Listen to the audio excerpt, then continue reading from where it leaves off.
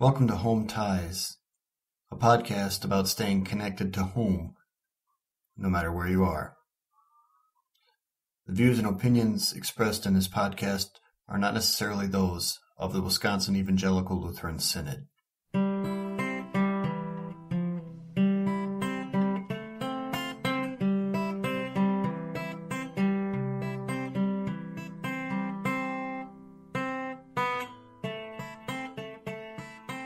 I've lived on three continents over the last half century. I've moved over 20 times. Longest I've ever lived at one address in my entire lifetime was nine years. I have a very difficult time answering the question, Where are you from? Over the years, I have learned how to go with the flow and adapt the way I look, the way I talk, the way I think. My wife is from a very traditional con- community a place where her ancestors have lived for five generations. Thankfully, she has been able to accompany me on this journey with some flexibility, but there have been some casualties along the way. It's difficult to form deep, lasting friendships with people when you understand that you won't be staying there very long. It's a challenge to stay focused on the present and not look farther ahead down the road. When I look back at my life, and consider the decisions that I've made can be filled with regret, can be some thoughts of what would have happened had I gone the other way, but this is the lot in life that I have been given. Maybe I should explain why my life has been this way. I'm not military, although I think a lot of military families go through similar things. I serve in God's army. I'm a missionary for the Lutheran Church, currently living in the country of Malawi. This life that I have followed, these choices that I've made, it hasn't been something that I came up with on, all on my own. I know that. And that's very helpful when I consider the consequences of my actions. When I think about the friends and the family that I've left behind, there's really nothing that would make that worth, that kind of sacrifice worth it. Nothing in this world, at least. So I hope over the next several episodes of this podcast, if I even can finish this first episode, to tell you a little bit about my current posting here in Africa and some of the adjustments that I've had to make since coming here. I'm in the middle of my life. I'm 52 years old.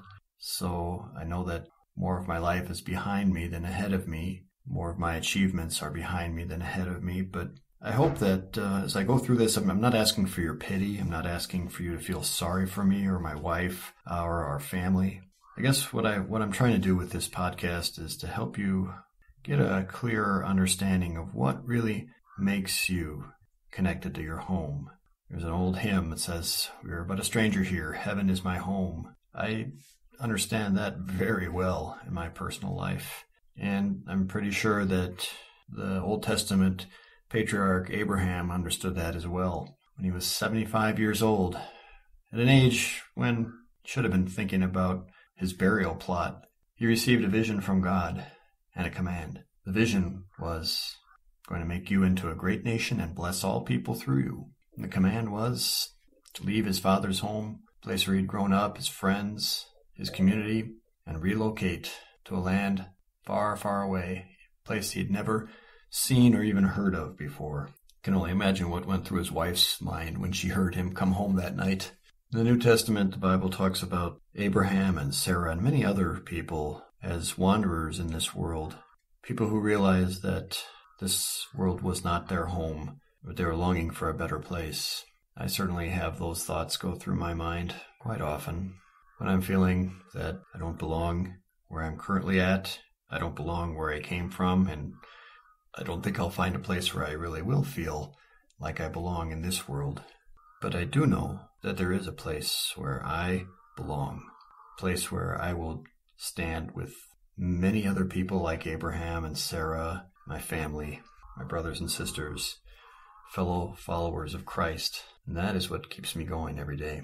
Throughout my life, I have been convinced over and over again that there is a divine plan in play in my life whose details I am not aware of, but I can see in retrospect. Case in point, in September of 2016, I was attending a, a meeting of our denomination's board for special ministries when I was passed a note telling me to call a phone number. I had no idea whose number this was, but I needed to stretch my legs. So I got out of the room and took a phone call that set my life on this current course of events. It was the chairman for the mission board to Africa missions telling me that I had been nominated to serve as a missionary in Africa. Certainly was not something I was looking for, not something that I had been asking for. I'd thought about mission work, especially because I had had prior experience living in Eastern Europe in the 1990s, but still, I was floored. And of course, then, after the initial shock and taking the call and promising to give it some thought and prayer and hanging up, then of course you begin to think about how others are going to take this. Well, called my wife, of course, first person, need to know. And I think that in general she was taken aback as well, but not necessarily in a bad way. I guess, you know, for for a person in my point in life in their 50s to receive the opportunity to relocate and live in a in another country and serve in the exotic mission field of Africa, of all places. It certainly was exciting. And I guess if I look at my personality, I'm, I'm probably more tended towards the kind of person that, you know, if given the opportunity to take a flying leap, even if it's off a bridge or a cliff, I'll do it. Not the kind of person who's ever really taken a lot of time to make up my mind on things. Other people, though, and my extended relatives are, are not necessarily put together the same way. And I knew that it was going to be difficult for me to share this news with my relatives, especially with my father. I remember very well sitting in the parking space in front of his condominium and breaking the news to him. And I remember his reaction Africa, no! And I can't blame him. Who wants to see their, their fun flesh and blood move thousands and thousands of miles away? He He'd been through this before, so he knew what this meant for him. For my children, though, I think that was the toughest conversation of all. At the time, my two daughters were age 19 and age 17, just finishing up their secondary education or getting started on post high school education. I'm sure in their minds they thought that they were adults, but in my mind, of course, I, I knew I still think of them as children, and I knew that this would not be an easy thing for them to hear that their parents were considering moving away and leaving them behind. In essence, our move to Africa meant the end of their childhood. It was one of those watershed moments in life, like when you take a call and you and you realize that nothing is ever going to be the same again because you're you've gotten the news that your your parent has has passed away or somebody you, you love was involved in a in a tragic accident or you receive a diagnosis of a chronic disease like cancer. And and certainly I was not surprised by their reaction of my daughters to this news tears questions maybe even a little anger although they didn't really share it openly with me I, I wondered how would I have reacted if I was in their shoes when I had been at that age and point in time and my parents had announced to me that they were moving to Africa? In my devotional readings, I found some measure of comfort in these words from Psalm 71, 17 and 18. Since my youth, God, you have taught me and to this day I declare your marvelous deeds. Even when I am old and gray, do not forsake me, my God, till I declare your power to the next generation, your mighty acts to all who are to come. You know, these words are a good reminder to me that I don't have to be afraid of what would happen to me or my children or my those I'm leaving behind because Jesus has been with me my entire life, in my youth, and he'll be with me till my hair is gray or fallen out. And then, of course, that promise applies to my daughters and my parents as well. Yes, this may be the end of my children's childhood, but I know that God will be with them when they are old and always. And of course, that promise has been put to the test over and over again during the last three years that we've been living apart from them in Africa. Let me try to give you my perspective of, of the perspective of a parent leaving their teenagers behind while they go while you go to pursue an adventure in a foreign country. Well, you do what you can set up your kids, right? Find them a safe place to live with people who you hope will be able to keep an eye on them. But unlike the stereotypical helicopter parent, when you live 8,000 miles away from your children, you can't just jump in a car and swoop in at a moment's notice to help them out. And even though this is natural for all parents who go through the empty nest, to let your children go and not be under your roof anymore, it's still very difficult for me and my wife. I think, no, you have no control over what time they'll be coming and going. You have no way to shield your children from squabbles they have with their roommates. And of course, accidents happen. They happen in the middle of the night, at least in the middle of our night, because we're seven time zones ahead. You get that call at 3 a.m. in the morning and you find out that your child has been in a car accident and you weren't there to to help them through that. Or you miss a call from one of your kids again calling at some crazy hour in the night and you wonder what is going on what has happened. And of course money is available. Send up a good old wire transfer. That'll fix the the car take out the dents pay for the insurance claim buy a new car if needed but money doesn't fix your fears what about my children's perspective? I, I, I wonder these promises of God to be with, to be with us no matter where we go in life, no matter what circumstances we find ourselves in. Not having their parents around, they've had to certainly grow up faster, I think, than many of their peers. Peers are able to go home for the holidays or whenever there's a break from school, kick back and relax, go back to the to the house that they grew up in reconnect with their with their high school chums. Well, we didn't just empty our nest; we blew it up. You know, there are many many times that I realized my life could have gone off the rails if not for God's protection. I'm really beginning to understand the the stress that I put my own parents through. By God's grace, we made it through those difficult years and so I, I trust that God will get us through this too. Makes it hard though is my own human sinful nature, my own thoughts that think I can manage this on my own. God is kind of just there in the background to pick me up whenever I have a an accident or to send me some help when I need it. Basically, I think of God as being my my helicopter parent.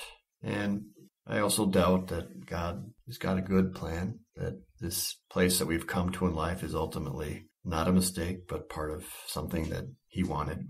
My own nature filled with worry about my children and my, my nature, which can't see the future and is frustrated. But God has shown me the big picture. It's bigger than my current worries, bigger than my future trouble. I know that God's Son sits at His right hand and I am his servant by his grace. My daughters, they are his servants too. These truths give me comfort and peace. I think about how I've gotten to this point, this watershed moment of my life. It didn't happen by accident. It was something that God had planned. God is the one who chose that I should even exist. God is the one who gave me my my faith, my calling to Africa. And I know that God will get me and my loved ones through this life and into the next. So when I am tested, I know I may slip up. But God will not let me stumble and fall away. And of course, the same is true for my children. They will slip as well. God will not let them fall away. He has them under His protection. So I've been talking about the chain of events that led me to cut the ties with my my family, my children, parents in the United States, and moving to Malawi. Those were decisions which I made under the influence of, of God, I know, but still ones that I was actively involved in the decision process. Sometimes you, you are given those those choices in life were between a good and a good, right? There's no bad choice to make, just you go this way, these will be the consequences. You go that way, and those will be the consequences. And you know that God will be with you whichever way you go. Sometimes you get to make those choices in life, but other times you don't. I chose to cut the ties with my children and my family, but but sometimes those family ties are cut unexpectedly. My grandma Grace died in 2018 just one month short of reaching the century mark. Of course, when you're almost a 100 years old, you have a very small world that you live in. Unfortunately, her memory was failing, her eyesight failing, in a lot of pain. Living in a assisted care home, a nursing home, where they took care of her physical needs. So, so different from the person I remember growing up. To me, She'll always be Grandma Splash, the lady that we used to dunk in the pool when my brother and I were kids, who used to swim laps every day in her Florida home and invite kids from the church to come over and, and splash around with her. Oh, she was a lot of fun and huge, huge, huge influence on me. She and her husband, Harvey, great stabilizing factor in my life. So, of course, I missed the funeral because it was just not possible for me to leave my post and attend. And that was difficult. Her funeral was really the last chance for her and her husband's offspring to get together. The cousins scattered across the United States, haven't been together for years, most of them married off and having families of their own. We had a really special relationship with our grandparents because they lived in the city where I was born until we moved away when I was 14 years old. And we had so many Sunday afternoons, we'd go over to the house, and Grandma would have set the table with linen napkins and real silverware and and crystal wine glasses, things which were just not in my everyday reality as a child of the suburbs. We never really lived close to them again, although throughout the years, of course, made visits, talked on the phone, exchanged letters, and when my grandfather died in the year 2000, grandmother moved back to live closer to my mother in the north of the United States. And at that time, I was not living close by to her at all. And then I moved away even farther. And you, you think, well, you know, you'll get the time back someday. Someday you'll be able to catch up and make up for all that lost time. But you don't realize at the time that you never will get that time back ever the time that you because when you when you move away you, you know life continues to move on for them and for you i think that the majority of people in this world never move very far from the place where they were born right um, i mean even in the united states once people hit a, a certain age get to a certain point in life and they're really reluctant to pick up the stakes and, and relocate. Maybe when they are finally at an age where they want they can retire and move to be closer to their family, or the, the salmon has the urge to return to the place that it spawned. But I'm definitely in the minority of people in this world. I've not only moved away from my family, but I've moved away from my country as well. And I've done it twice now in my lifetime. I don't know. Does that make me special or an oddball? Is it really worth the sacrifice? When I look at what I'm doing day to day here in Malawi, it's hard to justify the decision that I made to come here. Now, of course, I'm not the only one who left behind family and friends to follow the Savior. Twelve men were chosen to be Jesus' apostles. Only twelve out of all the people in the world. And one of them was the traitor Judas Iscariot. Only a, a fraction of people get to be foreign missionaries, and, and one of them is me. I understand that it's God's grace alone that brought me here. I didn't come to this because of my merits or my skills. Those apostles, well, they were a bunch of knuckleheads, weren't they? they all were slow to understand what Jesus was getting at and arguing and fighting with each other over who was the greatest among them.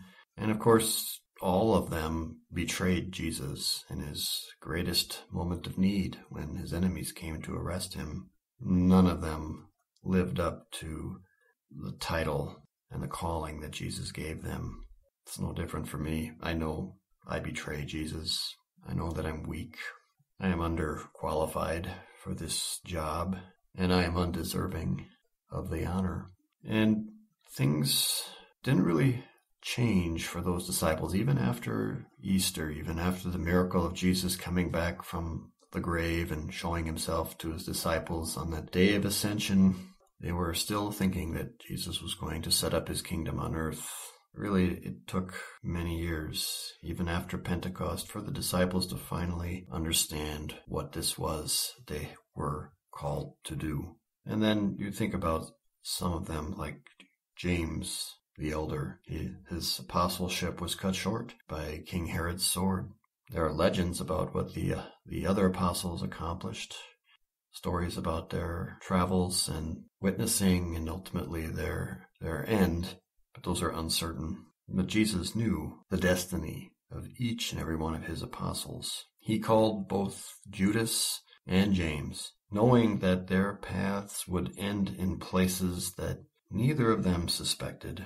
Know in the same way God brought me here to this point in life by giving me Christian parents, although the home I grew up in was troubled by sin like all families are. God used my my grandparents to stabilize my home environment and to encourage me to continue on the path that I have followed to ministry and ultimately to service in the mission field. So I know it's hard to cut ties with your family, and I'm not numb to that pain, not to my own pain, and certainly not to the pain of my family members that I've caused.